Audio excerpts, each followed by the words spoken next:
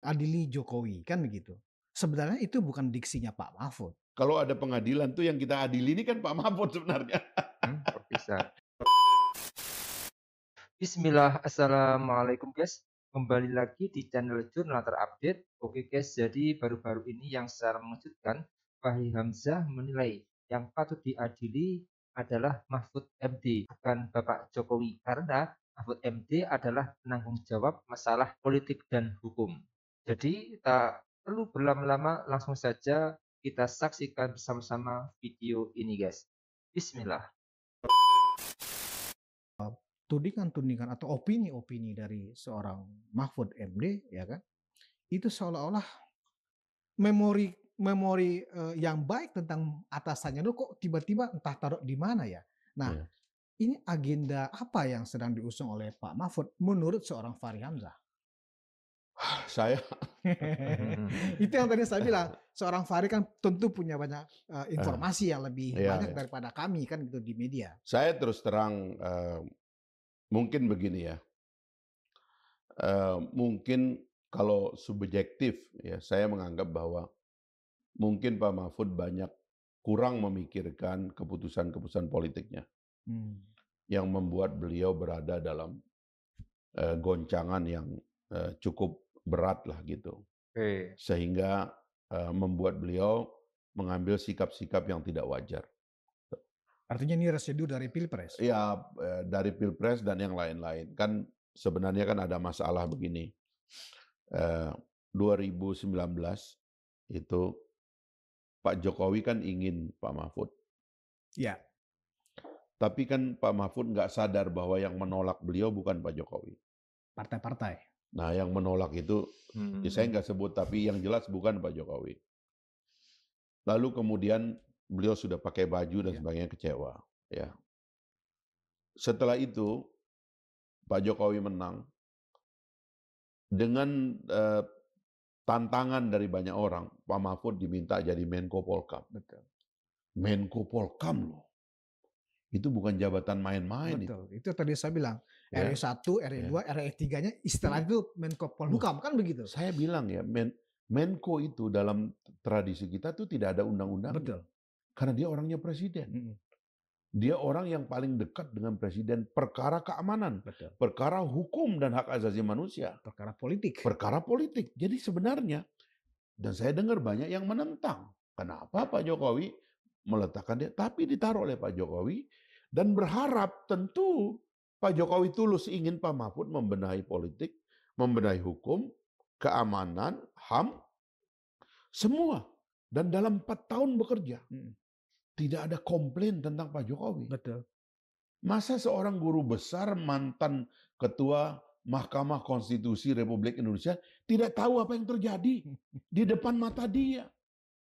Lalu kemudian ketika setahun terakhir beliau punya keputusan politik lain, kok semuanya jadi berubah. Jadi yang empat tahun tuh apa kemarin tuh?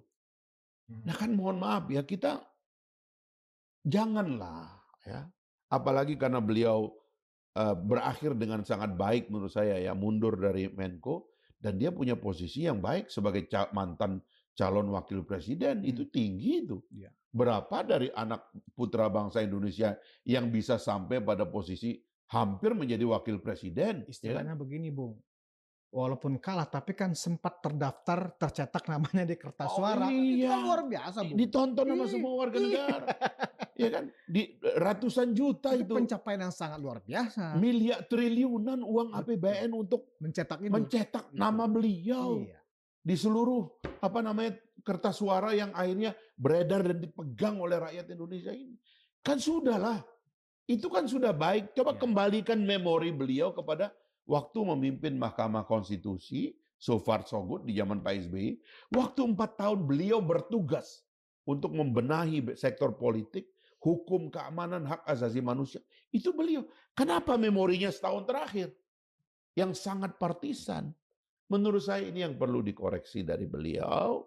Karena itu kita berharap beliau juga sebagai sedikit orang yang pernah dalam posisi itu positif melihat situasi Kalau ke depan. itu dianggap sebagai mewakili suara publik, gimana Bung? Bahwa itu suara publik yang saya tangkap. Ya, memang akhirnya itu yang terjadi karena beliau eh, apa namanya memutuskan untuk bertarung dalam politik ini gitu loh. Tapi hemat saya ya, saya pernah menjadi anggota Komisi 3 bareng dengan Pak Mahfud. Sama-sama duduk sebagai anggota Komisi 3. Dilantik tahun 2004 ya. Sebagai anggota dewan, beliau setelah menjadi menteri ya di masa Gus Dur, lalu menjadi anggota fraksi PKB dan saya waktu itu sama-sama sebagai anggota dewan sama beliau. Saya jadi tahu begitu dan ada beberapa dinamika, Hmm. terutama waktu beliau pindah ke MK, saya tahu apa yang terjadi. Kan waktu terakhir di 2004 itu terakhir beliau dipilih Hmm. oleh rakyat. Setelah itu kan karirnya adalah non elected semua. Ya. Sampai kemudian 2019 ya kan 15 tahun kemudian dia menjadi pejabat elected lagi. Menurut saya ya, mungkin beliau kembali ke komunitasnya yang non elected. Jangan jadi politisi deh. Hmm. Menurut saya mendingan jadi negarawan, kembali ke tengah Hmm. ini gitu loh. Sebab menjadi ganjil kita melihatnya hal-hal seperti ini. Suara Kita memerlukan ini, energi besar untuk rakyat. bersama, untuk bersatu. Untuk melihat nasib bangsa dalam transformasi ini.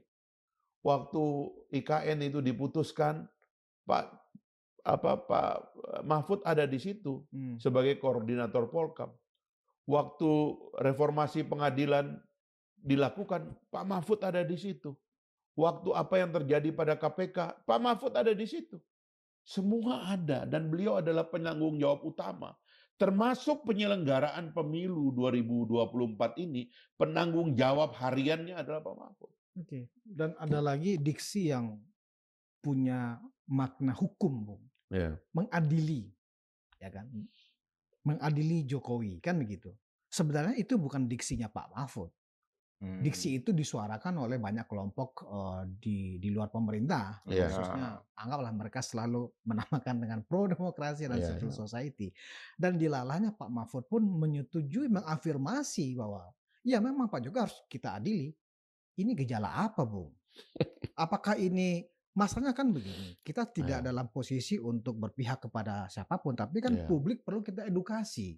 Ketika ada kata mengadili, berarti kan ada ada fakta hukumnya, ada peristiwa hukumnya, kan begitu. Apakah seperti itu yang dilihat oleh seorang yang mengaku dan kita menerima sebagai seorang pakar hukum, begitu, Iya. Bung? Gimana, Bung? Ya bukan pakar hukum. Kalau wilayah, wilayah hukum itu adalah wilayahnya Menko Polhukam dan lebih hampir empat tahun lah beliau ada di situ. Kalau ada pengadilan tuh yang kita adili ini kan Pak Mahfud sebenarnya, Hmm, bisa? karena dia penanggung jawabnya gitu loh. Hmm. Jadi saya kira udahlah ya. Mari kita agak lebih positif lah, terutama bagi orang-orang yang ada dalam posisi seperti Pak Mahfud itu, untuk melihat eh, transisi ini secara baik. Bangsa ini perlu energi besar untuk bersatu. Kita jaga demokrasi kita melalui mekanisme yang sudah ada, Mhm. tapi jangan sampai pertarungan ini bukan menjadi pertarungan sistem, tetapi menjadi pertarungan eh, apa namanya emosi pribadi di dalamnya. Mhm. Sebab sebaiknya dalam kontestasi ini kita luar keluarkan itu soal-soal pribadinya. Kecewa kita, beban pribadi kita, ketersinggungan kita, salah hitung kita dalam politik, jangan kita lembagakan menjadi bagian dari sesuatu yang permanen begitu. Oke. Oke guys, jadi ada apa ya guys ini tiba-tiba Bung Fahri Hamzah menyerang Pak Mahfud MD dan membela keras walaupun realita yang terjadi ini sudah jelas. Pak Mahfud MD itu bersuara atas nama publik untuk memperjuangkan demokrasi dan konstitusi yang mau dirusak oleh segelintir orang yang mempunyai kepentingan. Memang sekarang ini jadi terbalik guys. Pak Fahri Hamzah yang dulunya itu sering mengkritik Pak Jokowi, sekarang justru yang Pak Fahri Hamzah itu membela Pak Jokowi. Sedangkan Pak Mahfud MD yang dulu itu tidak terlalu mengkritik Pak Jokowi, tapi sekarang mengkritik Pak Jokowi. Inilah namanya perpolitikan guys.